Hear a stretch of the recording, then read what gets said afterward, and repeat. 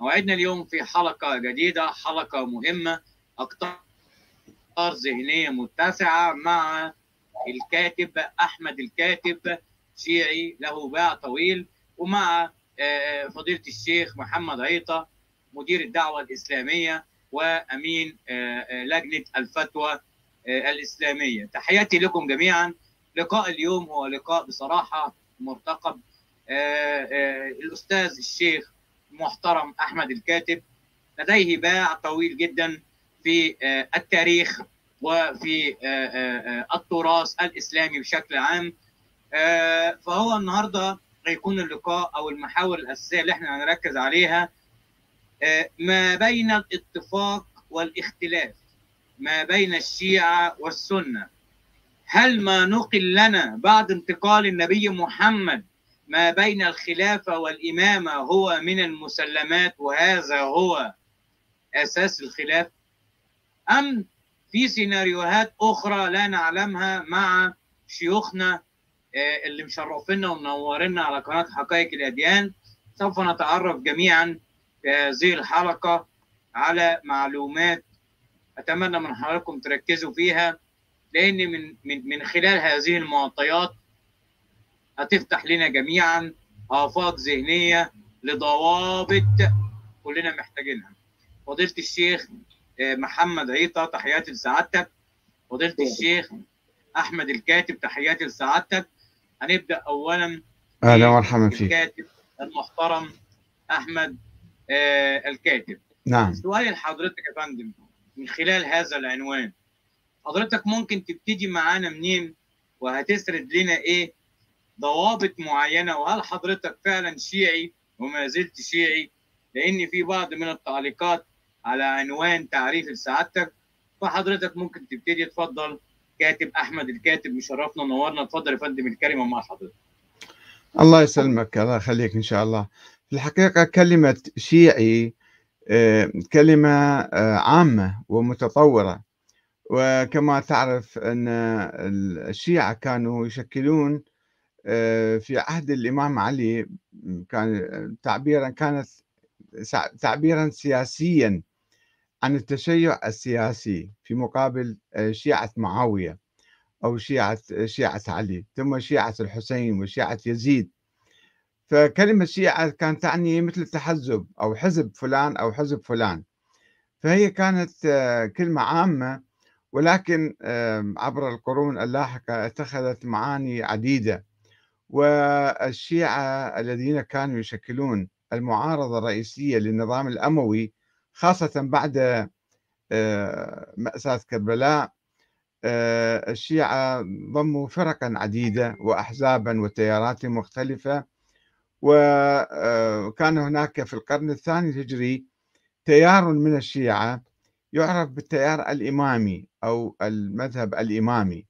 ثم المذهب الإمامي أيضا تطور وتفرق إلى إسماعيلية وجعفرية وموسوية وواقفية وفي منتصف القرن الثالث الهجري وصل هذا الجناح من الإمامية. الجناح الآخر الإسماعيليون كانوا مختفون وغير ظاهرين.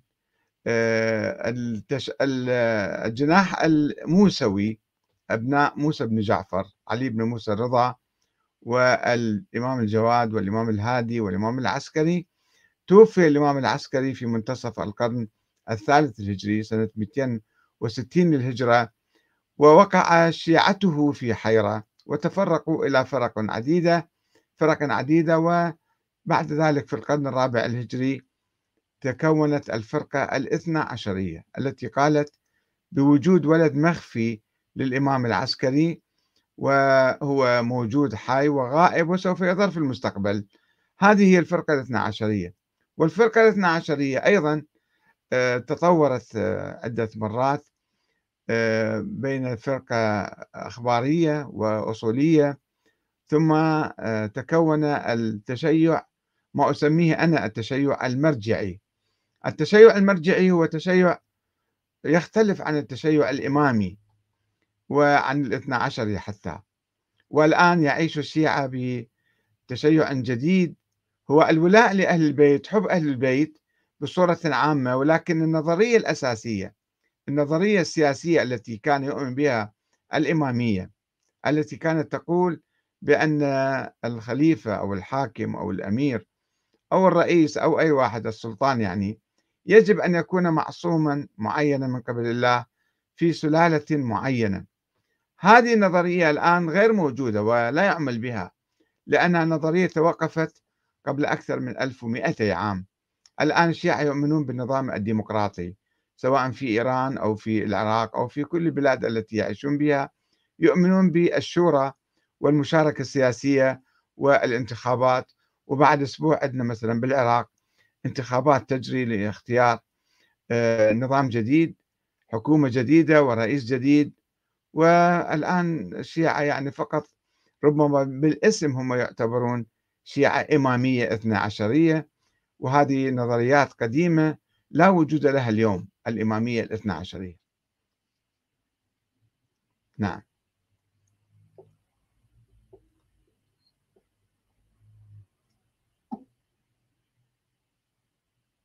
تفضل. تفضل مباشرة فضيلة الشيخ محمد عيطة بدون أي تدخل مني يا فندم اتفضل مباشرة. شكرا. أعوذ بالله من الشيطان الرجيم. بسم الله الرحمن الرحيم. الحمد لله والصلاة والسلام على سيدنا رسول الله صلى الله عليه وآله وصحبه ومن والاه وبعد.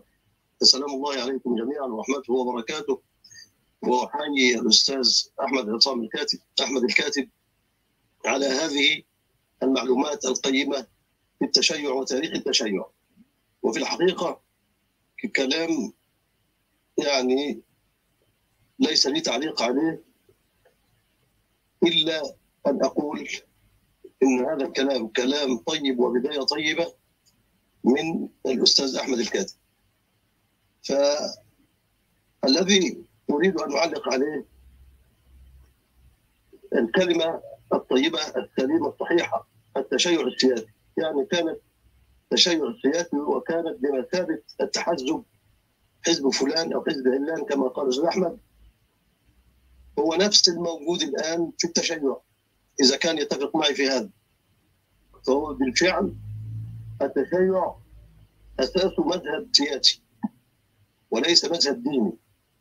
هو في الحقيقة كان سياسيا بدأ سياسيا ثم بعد ذلك انتقل من السياسي إلى الدين وظهر الاختلاف الوارد فيه إلى فرق كثيرة وطوائف كثر. كما نعلم آه، وكما ذكر الزحمة كالإسماعيلية وغيرهم. وكل يدعي حبا لآل بيت رسول الله صلى الله عليه وآله وصحبه وسلم. وفي الحقيقة نحن أهل السنة نتفق اتفاقا وطيدا مع الشيعة في حب آل بيت رسول الله صلى الله عليه وسلم حبا جما نحبهم ونجلهم ونكرمهم ونعظمهم.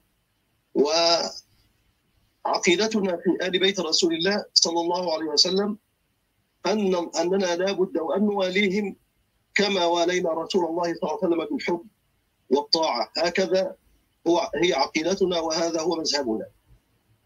مذهب أهل السنة في حب أهل البيت لا يختلف أبدا.